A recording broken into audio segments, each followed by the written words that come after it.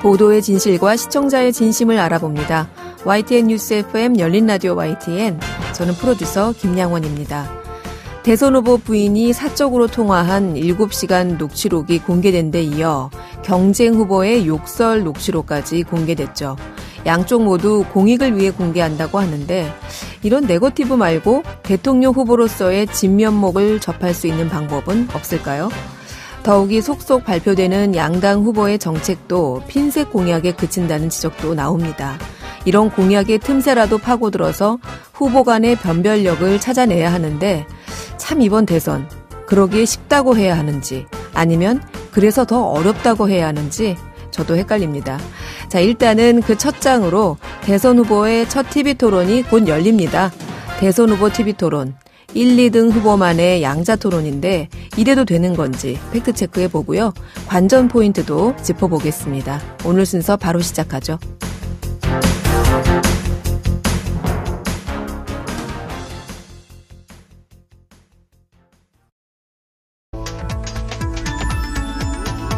미디어가 전하는 이슈에 대한 다양한 분석과 팩트 체크까지 바로 보고 뒤집어 보고 꼭꼭 씹어 보기 위한 미디어 비평 프로그램 열린 라디오 YTN 네, 한 주간 있었던 뉴스들 가운데 사실 확인이 필요한 뉴스를 팩트 체크해 봅니다. 팩트 체크 전문 미디어죠. 뉴스톱의 송영은 팩트 체커 전화 연결돼 있습니다. 송 기자님 안녕하세요.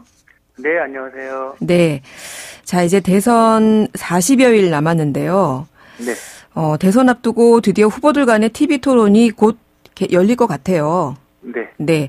오늘 첫 번째 팩트 체크도 이 TV 토론에 대해서 짚어주신다고요? 네 네.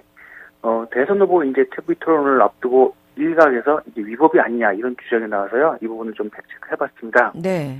네. 이런 주장이 나온 배경에는 이번 대선 후보 간 첫 TV 토론이 이재명 민주당 대선 후보와 윤석열 국민의힘 대선 후보 간의 양자 토론으로 결정됐기 때문인데요. 음. 어, 이를 두고 국민의당 안철수 후보와 정의당 심상정 후보가 기득권 토론이다. 이거 선거운동 담합이다. 라면서 비난에 나섰습니다.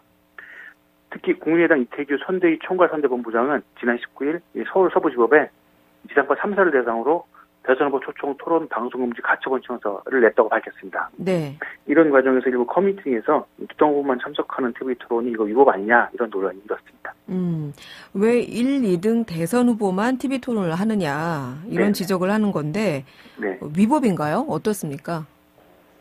네 당연히 위법은 아닌데요. 네. 일단 이전 대선에서도 양자 토론이 있긴 했습니다. 아, 그러네요. 진, 네, 지난 2012년 18대 대선에서 당시 박근혜 새누리당 후보와 문재인 민주통합당 후보가 양자 토론을 벌인 적이 있었습니다. 음. 근데 당시 좀 상황이 있었는데 그때는 법정 의무 토론을 앞두고 이정희 당시 이정희 통합진보당 후보가 사퇴하면서 결국은 두 분만 남아 토론을 하게 된 건데요. 네. 이 관련 법조항을 살펴보면 현행 공직선거법상 대선 후보 토론은 선거방송 토론위원회 주관으로 참여 기간 동안에 최소 세번 이상을 해야 한다고 규정하고 있습니다.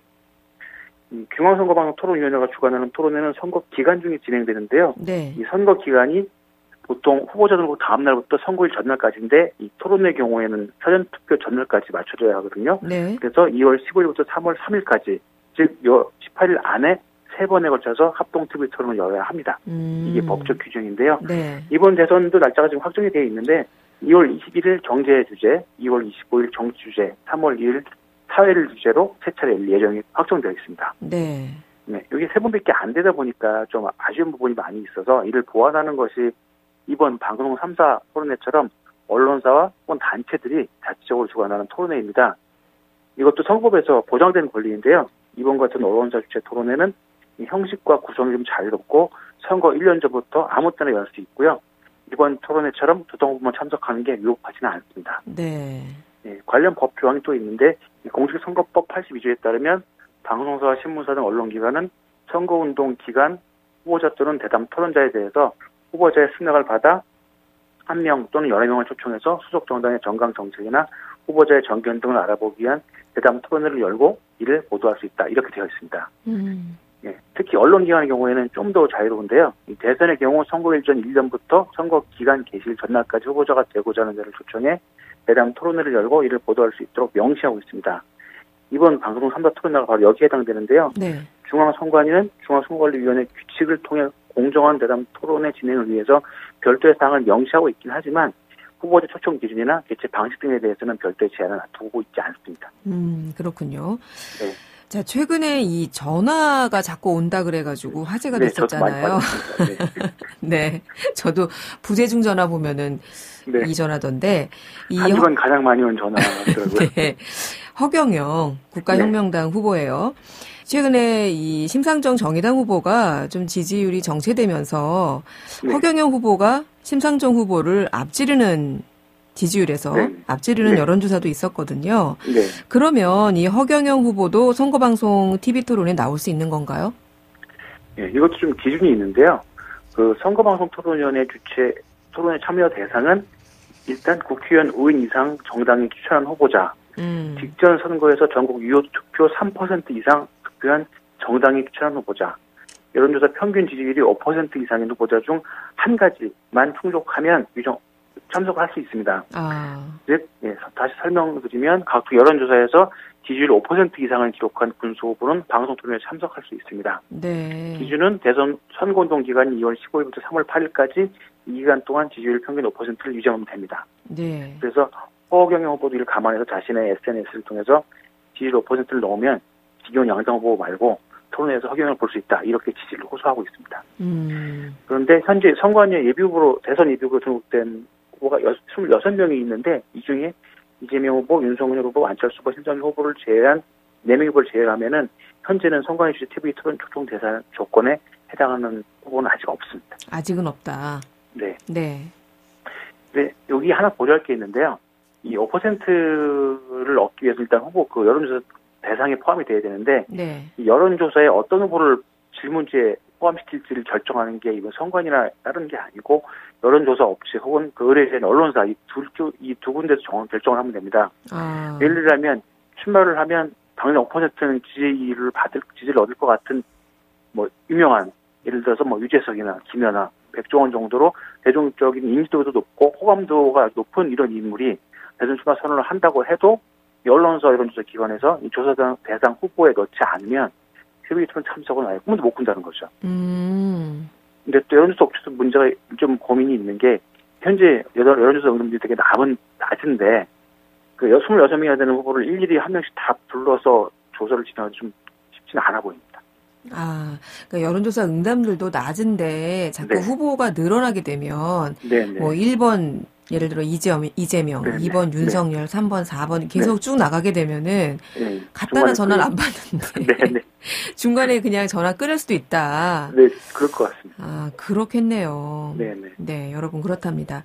자, 그러면 사실상 이번 대선에서는 4명의 후보 외에 다른 후보들의 TV 토론은 그러면 현실적으로 어려운 게 아닌가? 어렵습니까? 음, 아닌가. 그래도 한 번의 기회가 있습니다. 네. 예, 중앙선거방송 토론위원회는 이 초청 대상에 포함되지 않는 후보자들에게도 토론 기회를 부여하기 위해서 이들을 대상으로 최소 1회 이상의 대담 토론회를 열 수 있도록 하고 있습니다. 네. 예, 법으로 규정된 거고요. 그래서 이번에는 내 후보를 제외한 나머지 후보들 대상으로 2월 22일에 별도로 후보자 토론회를 개최할 예정입니다. 진행 기준 따로 있는데요. 참가자가 10인 이상일 경우에 너무 많으면 토론 없이 각자 공약을 발표하는 시간을 갖게 되고요. 10인 미만일 경우에는 이 골고루 시간을 배분해서 토론을 하게 하고 있습니다. 아, 그렇군요.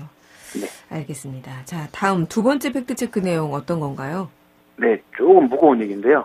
이 윤석열 국민의힘 대선 후보가 지난 11일 핵을 탑재한 북한의 미사일 도발을 가정한 대응 방안 중에 하나로 대북 선제 타격론을 거론했습니다. 네. 당시 윤 후보는 북한으로부터 마 5 이상의 미사일이 발사되면 핵을 태- 탑재했다고 한다면 이 수도권에 도달해서 대량 살상을 하는데 걸리는 시간은 1분 이내다.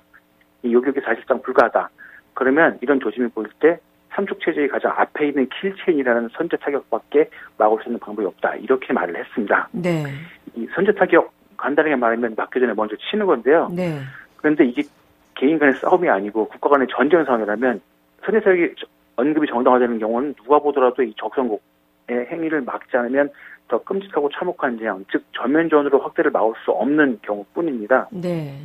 예를 들어 2001년 미국의 아프가니스탄 침공은 당시 빈라덴이 9.11 테러에 개입했다는 증거가 파키스탄 정부에 드러났고 이 파키스탄 지도, 지도자들도 법원에서 기소할 근거를 제공하기 충분하다 이렇게 인정했을 정도이기 때문에 그 당시 명분이 정당화됐는데요. 음. 그 이후인 2년 뒤에 미국이 이라크 침공, 2003년 미국의 이라크 침공은 좀 다른 상황이었는데 당시 미국과 영국은 이라크는 과거 대량 살상 무기의 보유를 밝힌 바 있고 여전히 그 무기를 보유하고 있을 가능성이 있어서 세계의 안보안경 위협하고 있다. 이런 명분을 내세워서 이라크를 침공했습니다. 네.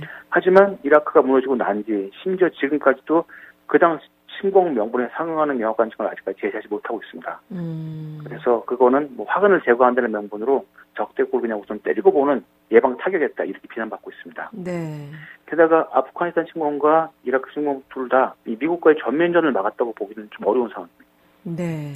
선제 타격 이 어, 인정받으려면 이게 네. 정당했다, 정당하다라는 확실한 증거가 있어야 된다. 네, 네, 그런 말씀이신데 네. 그러면 현실적으로 이게 어, 사실은 그렇게 쉽지는 않, 않아 보이기도 하네요. 자, 네, 그러면 네. 네. 선제 타격이 만일 그 전면전을 막는데 효과가 있느냐? 전술적으로 말입니다. 이건 어떻습니까? 네. 이게 뭐 미국, 이라크 같은 경우는 거리가 있어도 다른데요. 네. 이 한국과 남북한은 이게 바로 붙어 있잖아요. 그렇죠. 결국 이게 가장 큰 문제인데 결론부터 말씀드리면 이 선제 타격으로 전면전을 막을 수 있다는 보장은 찾을 수 없습니다. 아직까지는. 음, 뭐 예를 들어 보자면 북한을 선제 타격해서 뭐 원자로 탄도탄 탄도탄 발사대, 미사일 발사대 등을 시설을 파괴하는 것은 가능할 수 있는데 네. 문제는 그걸로 끝날 수 있느냐는 거죠. 미국에서 이런 거에 대한 언급이 있는데 미국의 브루킹스 연구소에서는 이 오래전부터 지적한 대로 북한처럼 산악지대가 많고 이 안 보이는 지하 터널에 핵무기를 감춰놓은 나라를 상대로 모든 핵무기 정수를 모두 타격해서 일부에 타격해서 핵전력을 없애버리는 거 자기가 불가능하다 이렇게 얘기를 했습니다. 네. 이, 또 만약 북한이 이 선제 타격을 견뎌낸다면 이에 대한 보복으로 미국이 아닌 이 한국을 타격할 가능성이 매우 높고요. 그렇다면 당연히 전면전을 번질 우려가 큽니다. 그리고 현재 여건이 북한 휴전선 부근에 밀집 배치한 각종 장거리 또 로켓 미사일 등을 총동원해서 서울 등 수도권 일대를 공격한다면 뭐 북한의 핵 공격이 아니더라도 한국의 경우는 인구의 절반 모든 주요 시설이 서울과 수도권에 몰려 있죠. 네. 그걸 감안하면 한국 입을 피해가 결코 많지 않습니다. 음, 그러네요. 자, 이게 사실은 남북한만의 문제뿐만 아니라 네. 한미 간의 문제일 수도 네. 있기에 이런 네. 대북 선제 타격론에 대한 미국의 입장이 나온 게 있나요? 네, 있습니다. 어, 우선 이 한국군의 현재 능력에 대한 평가가 얼마 전에 나왔는데요. 네. 전 유엔사 연합사 주한미군 사령관을 지내는 로버트 에이브럼 장군이 지난 12월 25일 미국 전국 국영 국제방송인 미국의 소리 VOA 인터뷰에서 이 한국의 전작권 작업을 완료하기 전에 한국과 미국이 확인해야 할 최소한의 요건이 무엇이냐에 대한 질문에 이 공유력을 말할 수 있는 첫 번째 조건은 한국이 연합 방위 전력을 이끌 수 있는 중요한 군세를 확보해야 한다 이런 것이다. 한국의 사성 장군이 있던 미래 연합사가 연합 방위원을 이끌 수 있다는 것을 증명하는 것이 포함되는데 이 두 번째 조건은 한국이 전략 타격 능력을 획득하고 한국형 통합 공중미사일 방어 체계를 개발해서 배치한다는 점입니다. 근데 이것은 솔직히 많이 뒤어져 있다. 이렇게 답을 했습니다. 네. 정리하면 아직 한국군이 전략 타격 능력을 갖추지 못했다는 겁니다. 네. 그리고 또 미국의 최대 독립정신 사이트인 더 힐지는 지난 1월 14일 기사에서 이 미국 바이든 대통령의 대북 정책을 비난하면서요. 비판하면서 이 보다 우려스러운 부분은 한국의 보수파 대통령 후보인 윤석열의 승리가 지역의 긴장을 촉발할 가능성이 있다 이렇게 지적을 했습니다. 음. 이윤 후보가 북한 핵탄두를 탑재한 미사일 위협이 감지될 경우에 북한에 대한 선제 공격을 지한다는 대북 강경청을 밝혔다 이런 점을 지적을 했습니다. 네.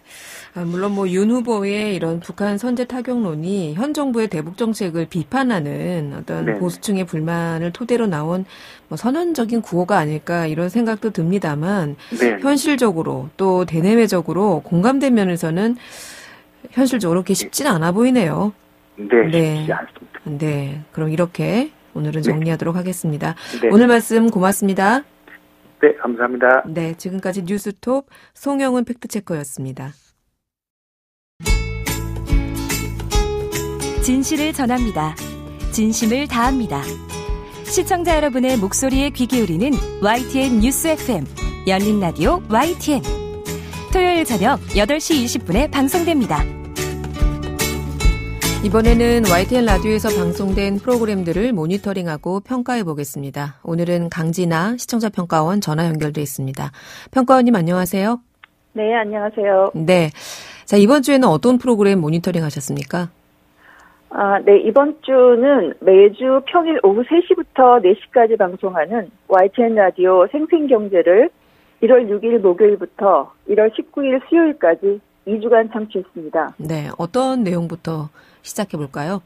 어, 전진영 PD가 원만한 진행으로 이끌어가고 있지만 조금 아쉬운 부분도 있어서 짚어보려 합니다. 청취자의 이해를 돕기 위해서 진행 시 정리해주는 부분이 필요하다는 생각이 들었습니다. 1월 13일 목요일 방송에서는 난방 텐트에 관한 소비자 조사를 맡았던 한국소비자원 시험검사국 담당자가 출연을 했는데요. 이때 난방 텐트와 관련해서 여러 조사 데이터에 관한 수치와 현황 등을 언급했습니다. 이때 난방 텐트 소재에 대해 깊이 있게 다룬 만큼 청취자의 이해를 돕기 위해 난방 텐트의 기본 구성과 작동 원리가 무엇인지 정리해 주었다면 좋았을 거란 의견입니다. 네. 아, 또 1월 13일 목요일 방송에서는 최근 주주들의 관심을 모으고 있는 모 에너지 회사의 주식 청약과 관련한 내용이 소개됐습니다. 이때 출연한 경제 전문가가 주식 청약일을 잘못 말했는데 진행자는 이를 정정하지 않았습니다.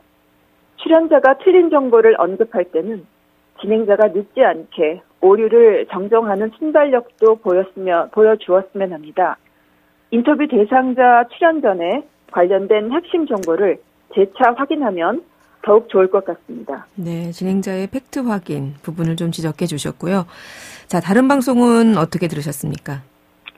1월 13일 목요일 방송에 이어 1월 18일 화요일 방송에서도 모 에너지 회사의 상장과 관련한 전문가와의 인터뷰가 진행됐습니다. 이 주제가 주식 투자자들이나 주식을 하지 않는 일반인들에게도 관심을 끌 만한 내용은 맞다고 생각됩니다. 하지만 과도하게 방송에서 주식 청약을 부추기는 듯한 방향의 진행은 재고해 볼 필요가 있다는 생각이 듭니다. 우선 1월 18일 화요일 YTN 라디오 생생경제 방송에서 따상 가면 얼마를 번다거나 기관 매수 금액이 1경이며 1 뒤에 따라오는 0이 16개. 이것은 5천만 원 봉급자 2억 년치이다. 등의 멘트들이 투자 심리를 자극한다고 생각했습니다. 이렇게 청약붐이 불수록 중심을 잡는 진행자의 균형 있는 역할이 더 중요하다는 의견입니다. 네. 자, 마지막으로 살펴볼 내용 있을까요? 네, 1월 17일 월요일과 1월 18일 화요일에는 여야 각 당의 선대위에서 부동산 관련 정책을 세우고 있는 담당 실무자들이 출연했습니다.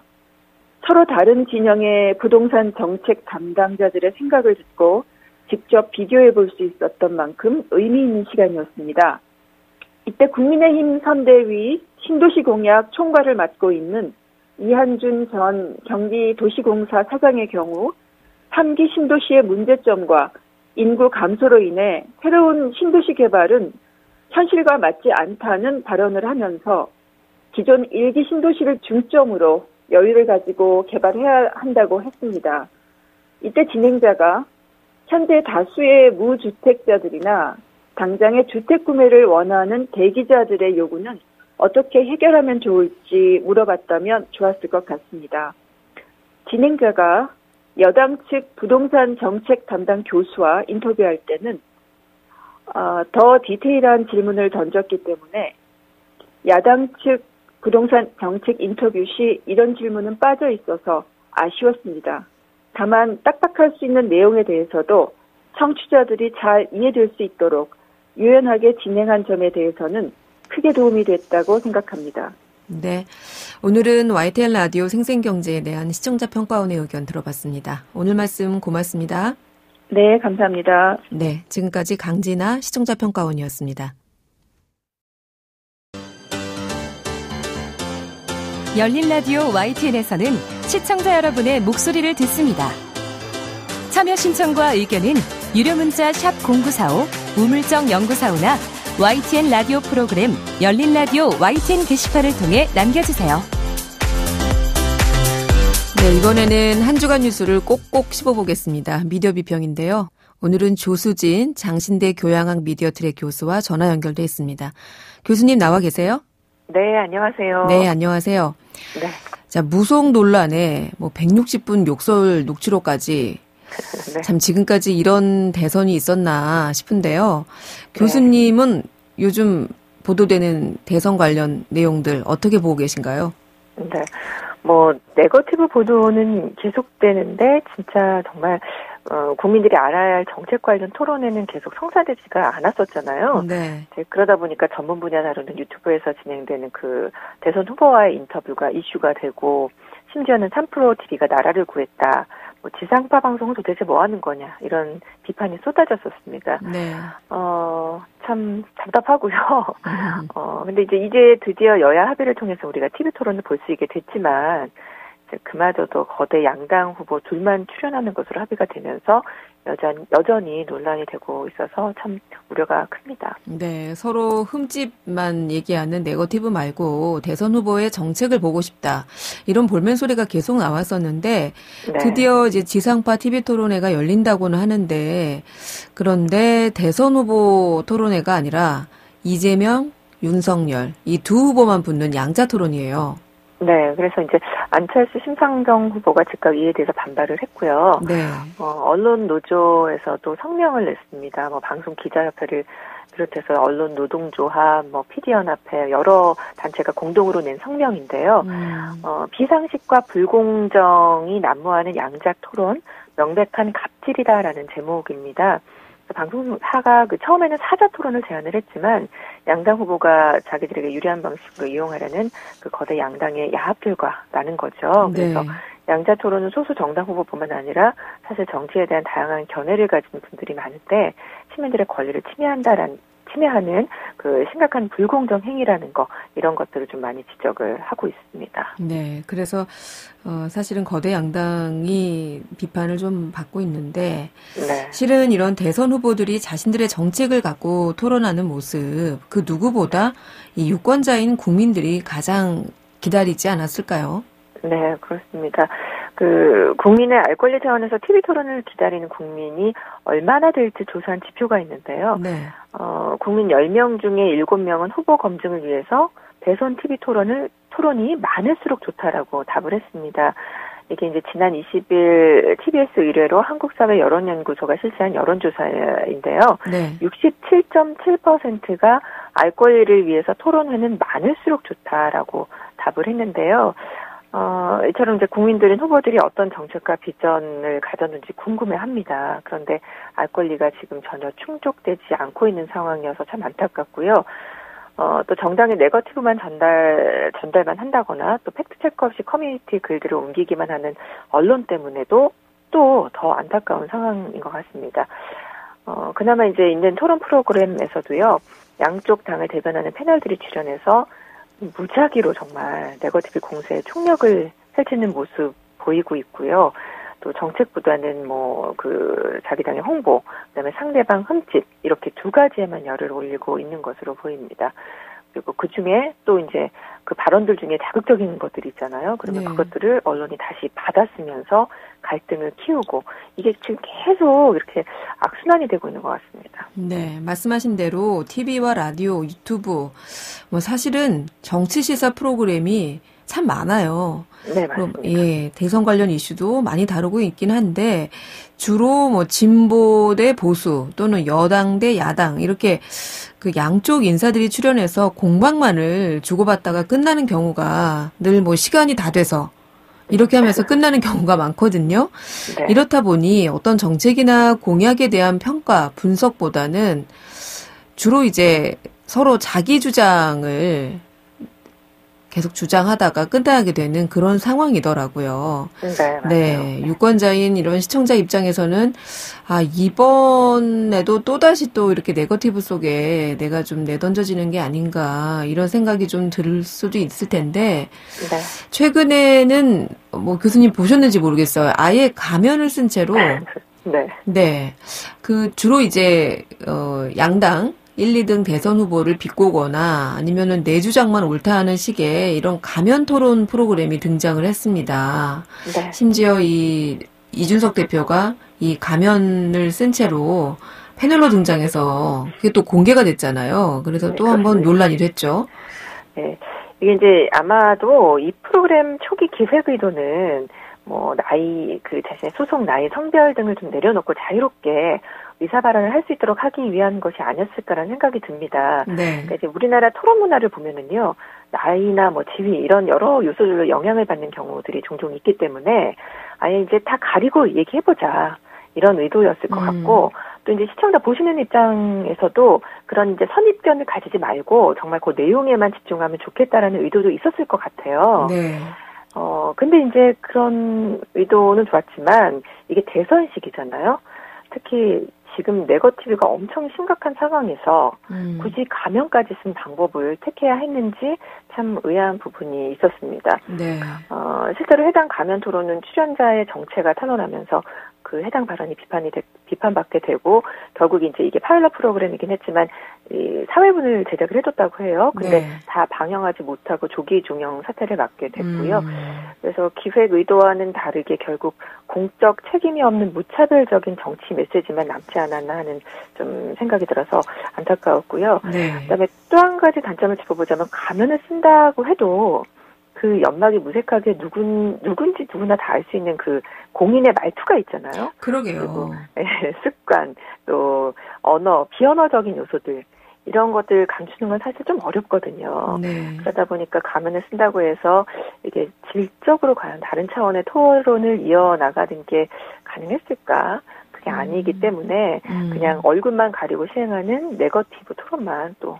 남게 됐습니다. 네. 저도 이 프로그램을 봤는데 네. 사실은 말투하고 그 독특한 어법이 있어요. 그 사람만의. 예, 그 들으니까 사실 알겠더라고요. 네, 아무리 네. 목소리 그 변조를 해도. 네. 네. 근데 그럼에도 불구하고 예, 저는 좀 신선하다. 이런 생각은 좀 들던데요. 사- 사실 그 이제 뭐 토론이나 이런 것들을 가르친 선생님들끼리 얘기했을 때 네. 이게 이렇게 외적인 요소가 너무나 작용을 많이 하니까 보시는 분들. 선입견을 가지고 보기 때문에 네. 가면 토론 한번 해보면 어떨까 이런 생각이 나는 적이 있었거든요. 네. 근데 이제 이게 선거 때여서 또 네거티브가 난무해서 문제라는 거고요. 어, 그리고 이제 정치 프로그램, 그 토론 프로그램이 굉장히 많은데, 이 정치 토론 프로그램은 정치에 냉담하고 무관심한 대중과 정치를 잘 알지 못하는 그런 대중들에게 정치를 좀 관심을 갖게 하는 효과는 있긴 있습니다. 네. 그리고, 그, 그리고 이제 최근에 내용과 형식 면에서도 많은 변화가 있었죠. 음. 그 최근 정치 토론 프로그램의 변화를 좀 살펴보면 저는 이제 두 가지 정도로 생각해 볼 수 있을 것 같은데요. 하나는 이제 종편의 등장입니다. 기존 지상파 방송과 다르게 진행자를 친근한 뭐 연예인을 등용하는 경우가 어, 네, 생각나게 네. 그런 경우가 많았죠. 그래서 네. 정치가 어려운 분야이지만 관심을 갖고 쉽게 볼 수 있도록 접근성의 그 허들을 낮췄다는 측면이 있습니다. 음. 어, 정치 토론 시의 그 이제 배경을 생각해봐도 자리 배치만 해도요, 이제 예전에 딱딱한 책상 가운데 두고 양쪽에 나눠 앉았었는데, 최근에는 뭐 삼각형 구도로 앉기도 하고요. 그다음에 뒷모습을 보여주기도 하고요. 또 현안에 집중할 수 있도록 조명도 끄고 주변 배경을 어둡게 하는 효과를 줄 때도 많고요. 어, 일종의 이제 쇼, 그 다음에 예능 분위기로 변화했다라는 특징이 보이는데요. 그러다 보니까 이제 무거운 주제보다는 이슈가 될 만한 자극적인 소재를 다룰 때가 많아진 게 또 사실입니다. 음. 어, 또 하나는 이제 미디어 환경 변화죠. 매체가 많아지고 그러다 보니까 당연히 경쟁이 치열해집니다. 그래서 늘 지적되는 속보 단독이라는 요소에 더 집중하게 되고 내용이 더 자극적으로 흘러가는 문제가 발생을 하는데 여기에 이제 더해서 1인 미디어로서 그 정치를 해설해주는 인기 채널이 많이 늘어났잖아요. 네. 어, 이거를 이제 디지털 뉴스 생산에서 주석적 뉴스 생산이라고 하는데요. 그러니까 일차적인 언론사가 만든 뉴스를 가지고 마치 이제 그 개인이 해설을 덧붙여서 기사를 생산해 내는 걸 말하는 거거든요. 어, 이제 정치도 이제는 재밌어야 보는 시대고 그러다 보니까 이제 정치 토론의 형태도 경계가 많이 허물어져서 예능화되는 경향이 이렇게 많아지고 있습니다. 어, 그러다 보니까 이제 이번에 급기야 당대표가 가면을 쓰고 정치 토론에 나오지 않았습니까? 네. 그래서 정치인들과 방송사들이 그 무관여층의 관심을 끌어들이기 위해서는 부단한 노력을 해야겠지만 정치 토론의 경계를 허물 때는 조금 조심해야 되지 않을까 이런 생각도 하게 됩니다. 네, 종편의 정치 토론 프로그램 말씀하셨는데 그 보통 정치 토론 프로그램에서 사용하지 않는 자막이나 그래픽을 굉장히 화려하게 쓰잖아요. 네, 그렇죠. 네. 음향효과도 그렇고. 네. 그렇습니다. 자, 이제 곧 대선 후보 TV 토론 열릴 텐데 그만큼 오래 기다렸으니까 이 네. 유권자인 시청자들의 기대도 있을 것 같습니다. 어떤 네. 토론이 될 것 같습니까? 어, 이제 제가 조금 전에 그 너무 경계를 허무는 걸 조심해야 된다라고 말씀을 드렸었는데, 그렇지만 이제 기존 또 TV 토론은 너무 경직된 토론 내용과 형식적인 네. 부분들이 많았습니다. 그래서 이제는 좀 다양한 연령층이 관심을 갖고 볼 수 있도록 변화가 필요할 거라는 생각은 들고요. 어, 가장 중요한 건 지금까지 너무 네거티브 일본, 일변도여서 우리 국민들이 지치셨을 것 같아요. 음. 그래서 이번 토론에서는 제발 제대로 된 정책이 논의됐으면 합니다. 어, KBS 질문하는 기자들에서 대선 후보 그 4명에게 음, 미디어 관련된 정책에 대한 질문을 하고 답변을 받은 적이 있었거든요. 네. 근데 이제 그 받아본 답변을 보면서 아, 대선 후보들의 미디어 관련 정책이 아직 상당히 미흡하구나라는 생각이 들었습니다. 근데 이게 비단 미디어 정책만 그런 게 아닐 거란 생각이 들거든요. 음. 그래서 국민들은 각 분야에 대한 후보들의 생각이 듣고 싶은 겁니다. 음. 그것을 검증할 수 있는 팁구의 토론이 됐으면 하고요. 어, 또 뭐 각 방송사가 주제별로 토론회를 여는 거, 그러니까 조금 그 심도 있게 유튜브에서 그런 것들이 사람들의 관심을 샀었잖아요. 네. 깊이 들어갔던 것들. 그래서 각 방송사가 주제별로 토론회를 여는 등 좀 다양한 방법들 모색됐으면 하고요. 어, 이번 대선 후보 TV 토론의 시작은 이제 양자 대결인데요. 사실은 뭐 양자 대결 토론 구도가 득이 될 수도 있고요.